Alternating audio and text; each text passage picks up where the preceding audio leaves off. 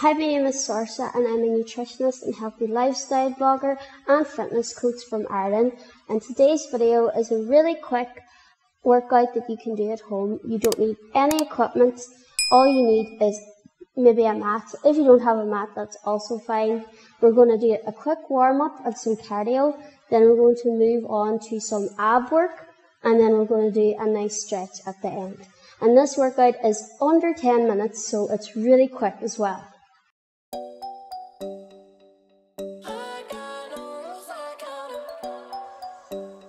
We're going to start with our head going from left to right, then up and down, left, right, up, down. Then we're going to do semicircles each side from left to right to loosen up our neck.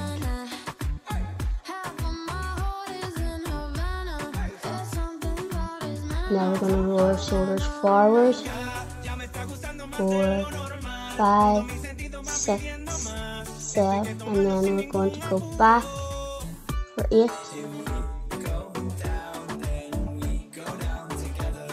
Really bring those shoulders up to your ears. Now we're going to reach up and roll down. Make sure you roll down nice and slowly and get each vertebrae in it doesn't matter if you don't touch the ground, that's not the purpose. The purpose is to warm up your back. So you want to make sure you're, you're reaching up and rolling down. Now we're going to kick forward and back. Keep it nice and low, we're just warming up, so forward and back. You can hold on to a wall or a chair to keep your balance.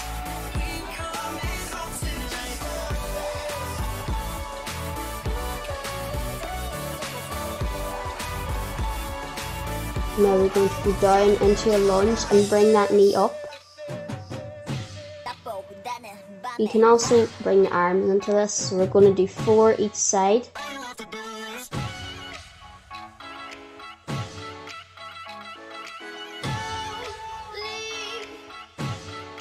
Now we're going to get increase that heart rate, so we're going to just do some jogging on the spot. Eight counts. A warm up is so important. It not only increases your blood flow by cardio, but also warms up those muscles. We're going to go into some burpees now. If you can't jump or have an injury, just reach up and go onto your toes instead of jumping, but you can still do these. Make sure when you're going out, you're going out the whole way into a plank and that's our warm up. We're going to start on our back and we're going to do some crunches. So hands behind your head, back pushed into the mat or the floor so you shouldn't be able to get your hands underneath your back and your two feet on the floor. We're going to do 10 of these. It doesn't matter how high you get up, it's more important that you have correct posture. So make sure your back is pushed into the mat and also try and keep your shoulders relaxed. Try not to tense up your shoulders. And breathe. Breathing is very important.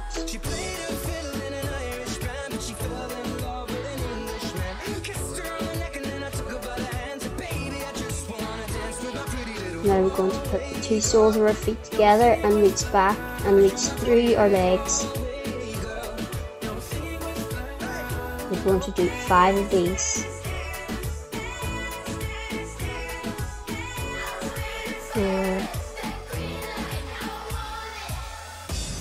Five. Now keep your legs where they are and put your hands back behind your head and do some five sit-ups with your legs in the same position.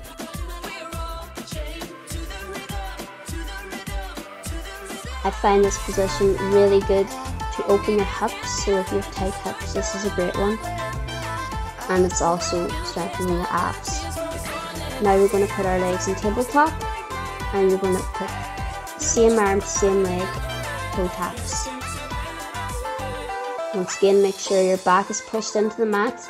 Make sure your shoulders are relaxed, not all tensed up. we're going to do 10 of them.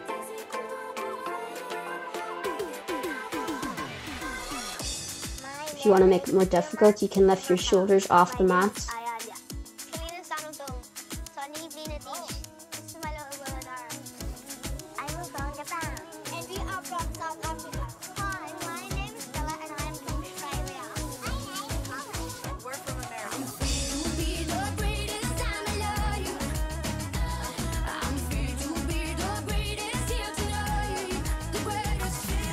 and we're going to do 10 more but this time we're going to turn our legs out.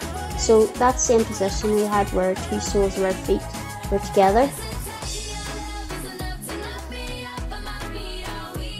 It's always good to do similar exercises and changing one specific element. So the specific element we're changing in this one is we're turning our legs out. So turning our hips out. Your knees should be facing out the legs for this one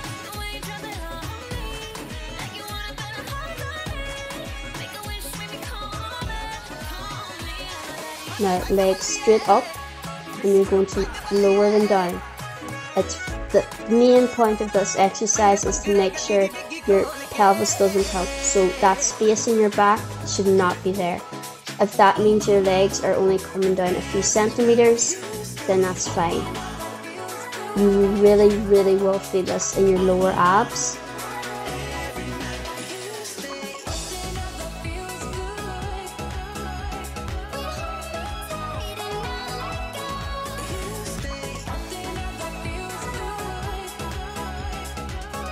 Now you're just going to go in circles, keeping your legs together, keeping your back close to the ground, and do three both ways. So three to the right and three to the left.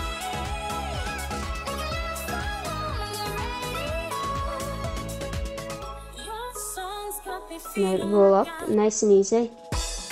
And now you're going to go in and out. So knees into the chest and then out forearms on the ground.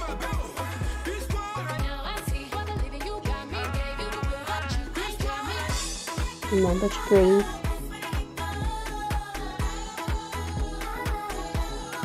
Your abs will be getting tired by now.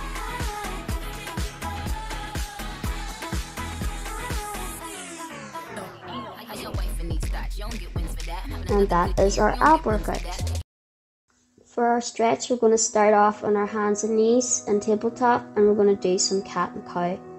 I find this very good exercise after workout. It really helps loosen up your back. It's also great to do first thing in the morning.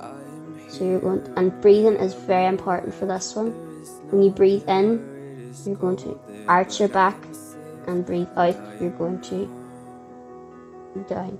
Now push back into a downward dog and pedal out your feet just to loosen up those hamstrings, but before pushing back down your heels onto the ground. Make sure you're really, really actively pushing back your hips, pushing your heels into the ground so you really get the backs of those legs. You also get your shoulders in this stretch. Now you're going to come forward onto your belly and you're just going to push up into what's called a seal stretch. Make sure you're relaxing your legs, your quads, so it really gets into the back. And really push your chest forward. Try not to tense your shoulders either, try to keep them away from the ears. And for any kind of stretch, it is so important to breathe. So just push back into a downward dog.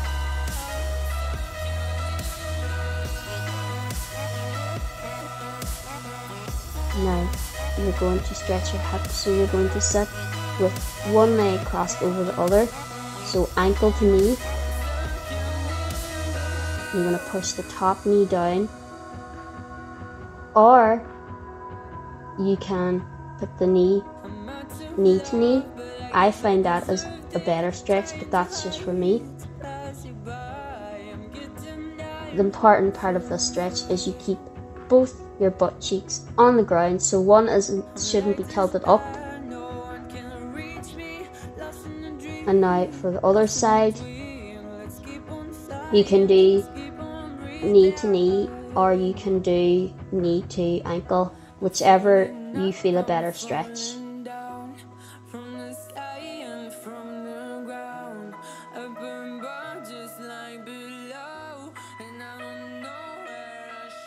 and make sure to breathe and that is our stretch.